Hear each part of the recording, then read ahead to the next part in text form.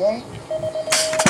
さあゲートオープンしていく30歳オーバークラス何しろこのクラス湿度が高い。熱気がムンムンしている30歳オーバークラスのエーシルが今コースに飛び散りながら走りまくっているのは30歳オーバークラス。エーシルが出しながらエーシル出しながら走っていきながら第3コーナー立ち上がってきている。ゼッケンナンバーリムセクリアしているのはゼッケンナンバー200